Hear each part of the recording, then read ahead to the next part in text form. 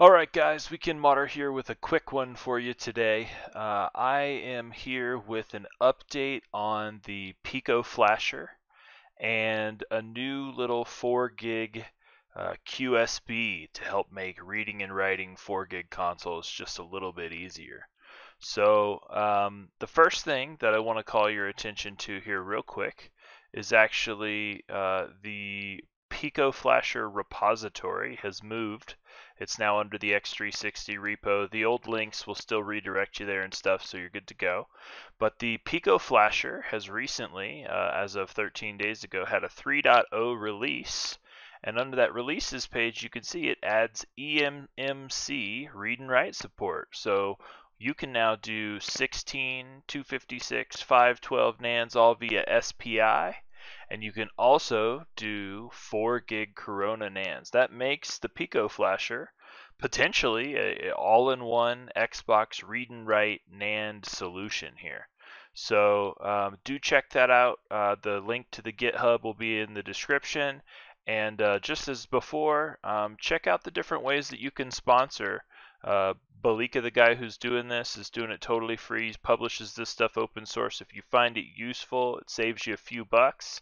Um, shoot him some money, man. Uh, support the the open source community. I think it's awesome. Um, so I'm going to get right to the nitty gritty of demoing some of that to you here. So this is a 4 gig Corona console, and you can see I've got the QSB and some wiring, and we'll talk about that in a second. But the first thing I want to do real quick is just prove to you that this is indeed a functional RGH3 console. So no glitch chip. I hit the power button here. You're going to see a boot indication, and then uh, I don't have a great capture setup going right now, so we'll just tilt that thing up and you'll be able to see this will actually boot into freestyle dashboard. Um, thereby kind of proving this is a free boot RGH console. So there you go freestyle booting right up.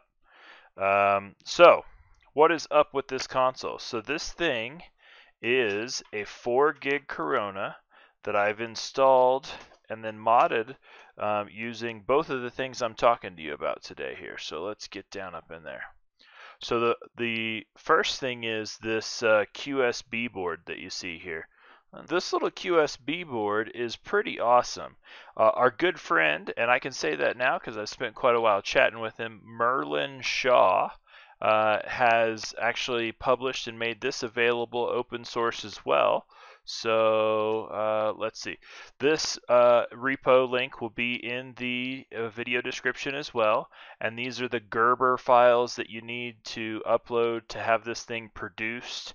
Um, Merlin was very inspired by Element, aka Mod Shop, and pay some homage to him there. But this is the really cool little product. So, you know, those tiny little 4 gig uh, pads that you have to solder to can be difficult, especially if you're going to connect and disconnect. And, and what this really is is just a little breakout quick solder board QSB, right?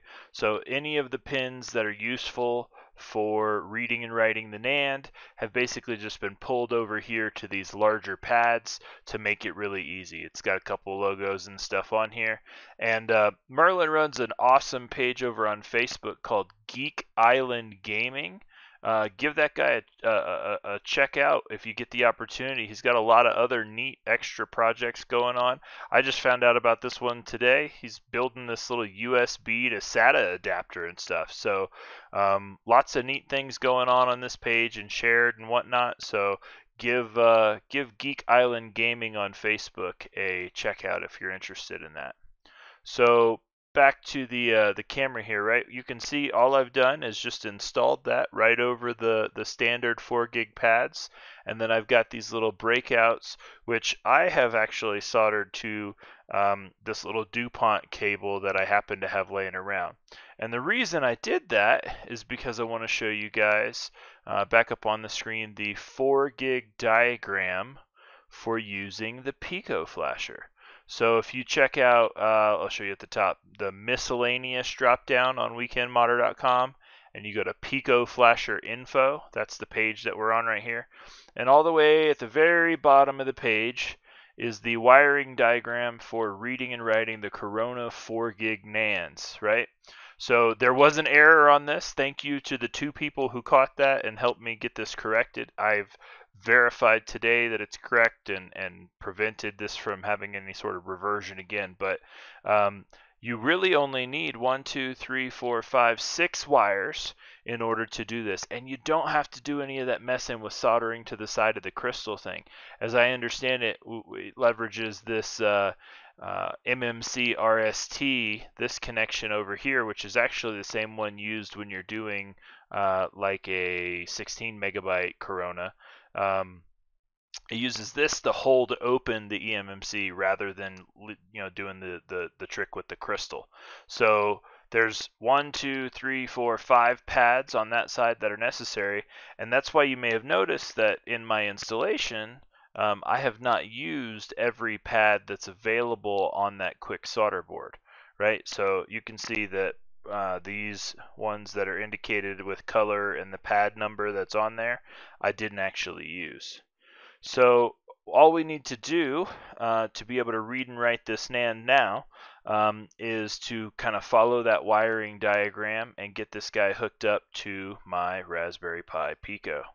So this is why I went ahead and set this up the way I did was because the Pico allows me to then slot these DuPont connectors on all at once and then I can connect the other side uh, where it's needed and then we can read the NAND on this console real quick. So there we go. That's it. That's the connectors. Um, I will actually be having some custom cables of just the right numbers and stuff set up for the Pico Flasher. Watch the website. And I do also have some Pico Flasher cases up there if you're interested in getting a little plastic case.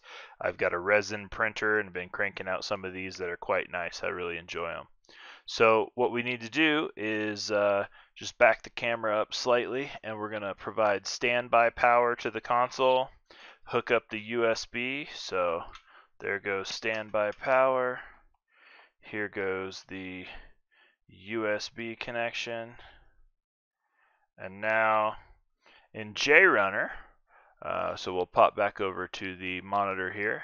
So if we pull forward JRunner, you can see I've got my Pico Flasher logo all, all up here. And uh, we literally just hit read NAND.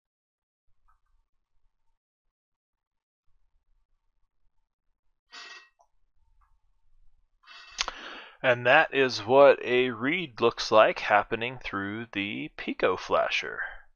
So you can see that it's actually pretty quick. Um, takes less time than a 16 megabyte NAND, something like a minute or something like that. Uh, but it does dump all 48 megabytes of the 4 gig NAND that are required. And it will do a second dump uh, based on the number of reads configuration that we have here. And we will have uh, two copies of our NAND. Now this console I've worked with previously, um, so you'll be able to see that the CPU key populates.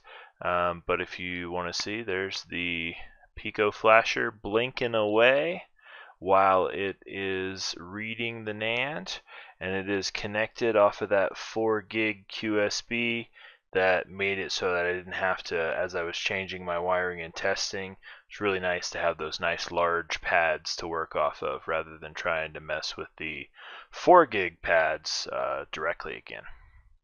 So uh, again these are both releases that are available on GitHub. Check out the video description. Um, give some love to Balika for doing the 4 gig support in the Pico Flasher. And uh, if you're interested in perhaps having one of these 4 gig QSBs, I do have a couple of them and would be willing to consider making up a whole run of them and offering them on the, on the store uh, if that would be something that you guys would find interesting. So drop me a comment and let me know. Um, as for the little teaser that I promised, um, speaking of the Pico flasher and cable compatibility and stuff, here's just a little teaser.